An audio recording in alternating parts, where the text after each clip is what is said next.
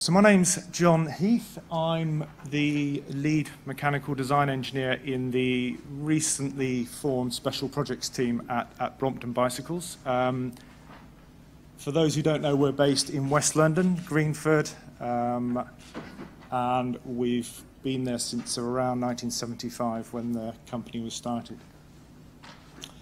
So this bicycle is um, a Bickerton folding bicycle. So in 1975, our founder, um, Andrew Ritchie, discovered this bicycle.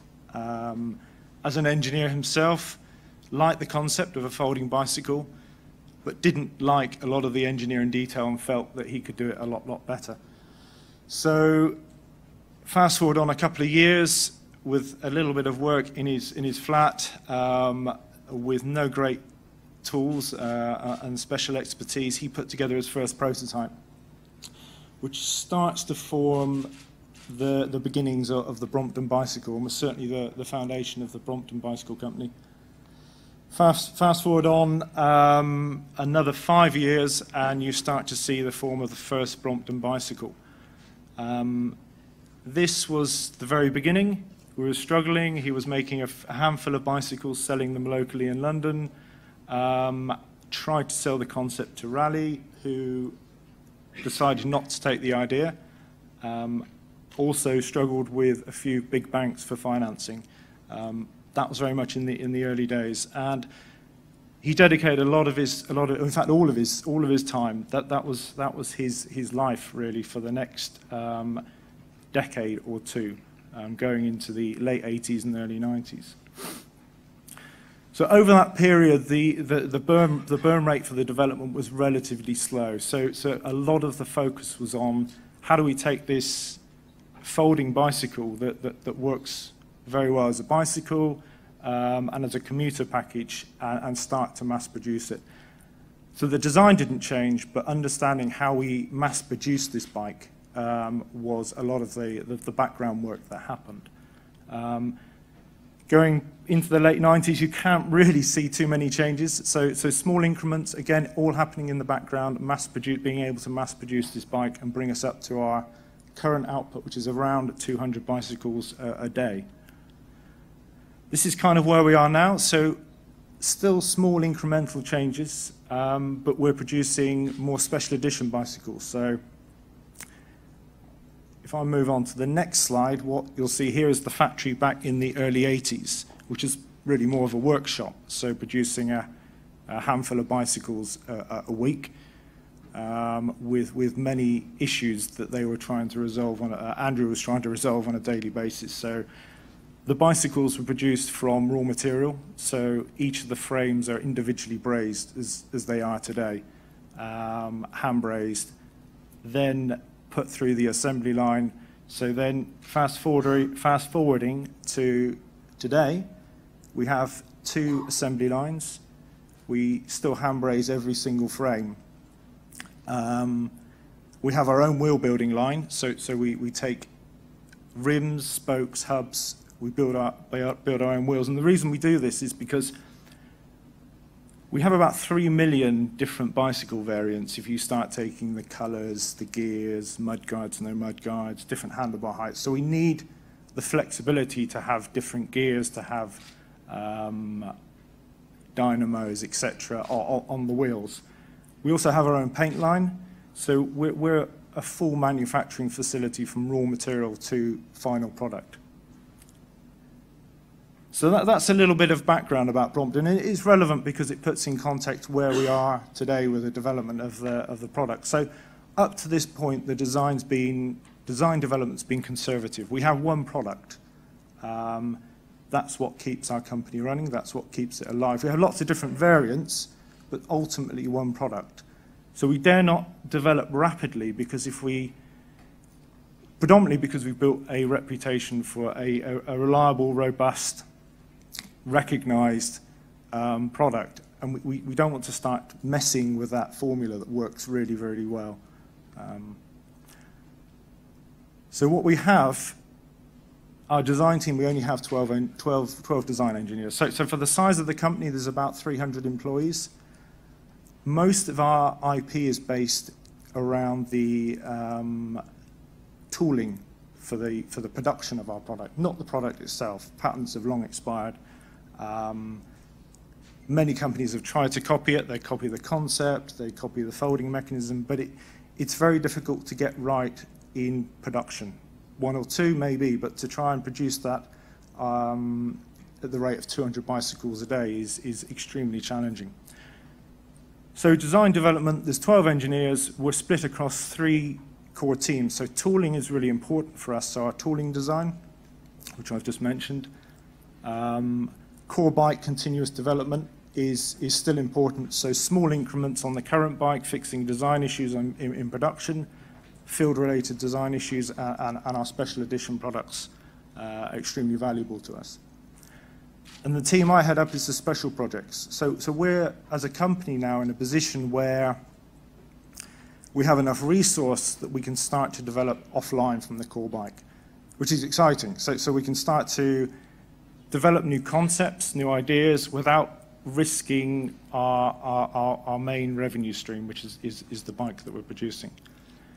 And the split across really is, for, is from mechanical to industrial designers. So, so we have industrial designers and we have pure mechanical engineers and pretty much everyone in between at different um, disciplines of, of product designers. But what we don't have is, is dedicated CAE engineers. So I've come from companies where we had the fortune of having 30 CAE, engineers um, dedicated to drop test analysis, dynamic analysis, um, whatever the design engineer might might want. But we don't have that luxury, so we have to have that resource shared amongst the, uh, amongst the engineers. So how do we develop? It, it, it's very, very basic, pretty much like every other um, product development company.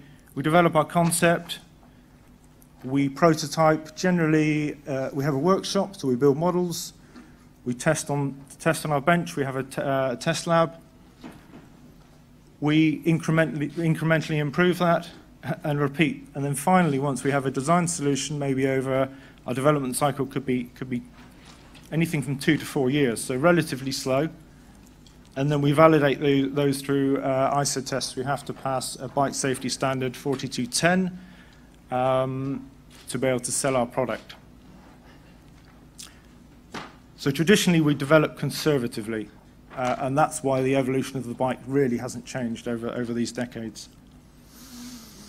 This is an example of a brake lever which was developed in the last four years. So we evolved the, the, the design of the brake lever to increase the um, efficiency, to improve the aesthetics. And the challenge as well is, is to maintain the, the piece part price of that as well, where we've, we've optimized the design from a production point of view, but also from a costing point of view as well, which makes future developments very difficult. We've, we've developed, engineering-wise, lots of great solutions, but from a cost point of view, they're very difficult to justify the implementation onto, onto the product. So the brake system was redesigned to the, the, the lever and the caliper, but again through quite traditional methods. So we were producing rapid prototypes, CNCing from um, the um, correct materials for, for our trials. And it, it's, it's, it's, a slow, it's a slow development process. And this, this project was almost three and a half years, which is a little bit ridiculous for, for a brake lever system design like this. But we want to change that. So, so about a year and a half ago, when I, when I started at Brompton, I, I brought my simulation experience uh, and, and tried to change the development process a little bit to make the designers own simulation as a tool. So they might go to the workshop, they, they may use CAD, um, but simulation should be, see, should be seen really as an additional tool for the development process. And historically, it's been seen as a little bit difficult to use. It's been seen as a separate department, so an over-the-wall mentality. But with a lot of, certainly a lot of modern CAE tools, it makes them far more accessible. That doesn't mean that the engineers don't need to understand the fundamentals of CAE, um, the, the fundamentals of FEA, but it certainly makes the tools more accessible to, to be able to um, include in the development process. So I've just added simulate after every one of those phases, but that's, that's true. It's from the very concept we, we want to be able to use the simulation tool just, just to understand is that concept, concept worth um, pursuing. And, and often the design engineers might be very conservative and cautious to develop an idea because the cost and the time, um, there's time pressures, pressures to put products into production. So they'll take more risks. So with a simulation tool, they'll take more risks. They may, they may at the end of the day, they may try out, try out a different design, doesn't work, they can bury it, fine, they can move on, but they're, they're learning from that, that, that mistake um, without too many time constraints.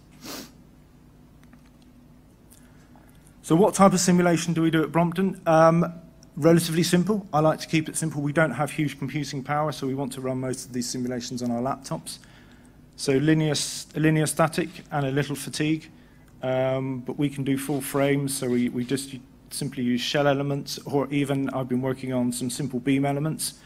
So rolling back to the 1960s philosophy of, of keep the models very simple, to start with in concept phase and then build the resolution of those models as the, as the development progresses.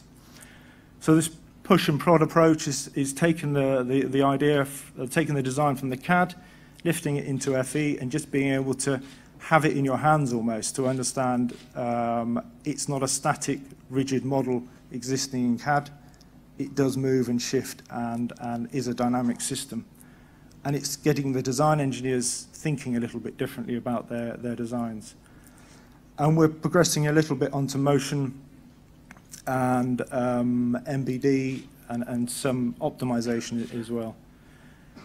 The key driver to a lot of this is the bicy our bicycles are great, they're a little bit heavy. We want to lightweight, and, that, and that's um, what we're trying to um, certainly what I'm trying to drive in the special projects team is lightweighting um, with the optimization on, on part structure um, and stiffness. So again, just to talk about integrating FE into the design process, keeping it simple, setups, uh, set up, setting up the models relatively simple, and um, changing the mindset. So it's a simulation-driven uh, uh, design approach.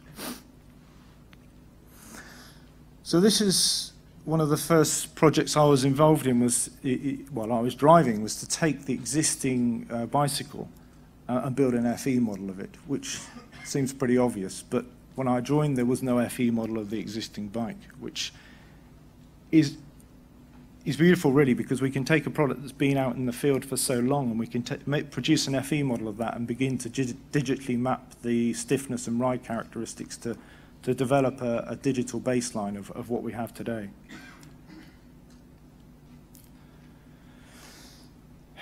So this is, this is a, just a, a brief demo in, in Altair Inspire of um, quite a simple, quick FE analysis of the, the, the seat post tube.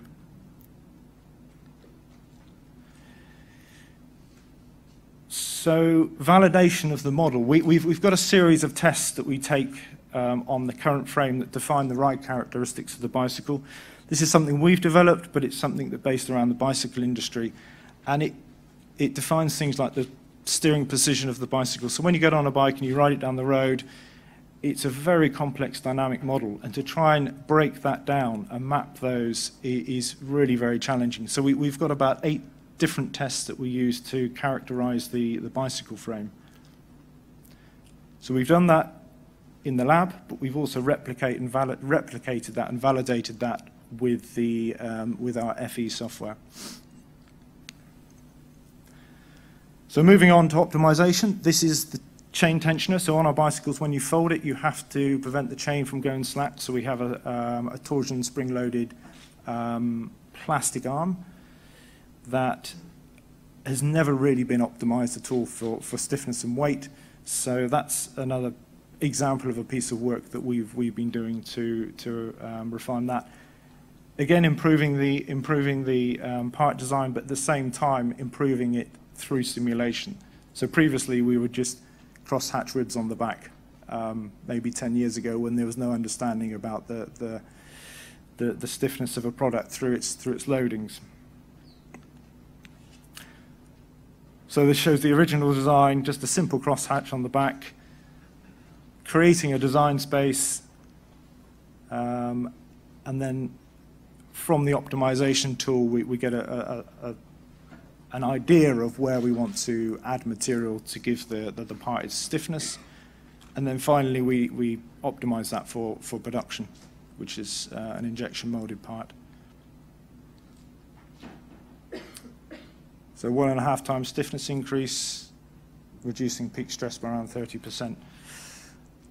So when you start to get these figures and you start to get this, this feedback going back to design engineers, they can actually see they're refining their design in an in, in intelligent way, rather than blindly adding ribs in because that's where they think they're adding stiffness. Actually, it might be increasing the stress or um, adding stiffness in a way that is not really helping the function of the product, uh, the part, sorry. This was a, a demonstration where we have the rear dropout transition from the main frame to the rear frame, we, we, we started just to block that out and, and have a look at where, for our multiple load cases, we, we expect, expect to see uh, material um, and where the key load paths were to start to rethink some of the, some of the design of the, uh, the, the part. Again, in, in Inspire, this is a casting analysis of our, our rear plates. So it's something we're touching on, something we're, we're, we're looking at doing. It's just a, uh, an element to our simulation tool. Again, it's not something we're using uh, every day, but it's just, again, having the awareness of that capability. This is something... Oh, sorry, I'll, I'll skip past that slide. So once we have our full bike built, we put it on a rolling road. Uh, we weight up the bike to represent the, the rider, and that generally runs for around um, 48 hours over multiple road surfaces. It's quite a brutal test. Looking at the fatigue of the bicycle, um, we've looked at some multi-body dynamics to try and replicate that um, on uh, in CAE. It's it's complicated. It's not that simple. Um, but it's something we've managed to show some sort, some type of correlation between the mainframe, certainly on the mainframe area, to the to the rolling road uh, test. So this is an example of a post-test failure that that we were finding on uh, a head tube transition, where we were looking at again the rolling road test you've just seen. And we also have a, a pedal fatigue test where we where we replicate um, pedaling under high loading. And we are finding cracking actually in quite a strange place. You can see the red lines there. Normally the cracking is expected top and bottom of the, of the head tube.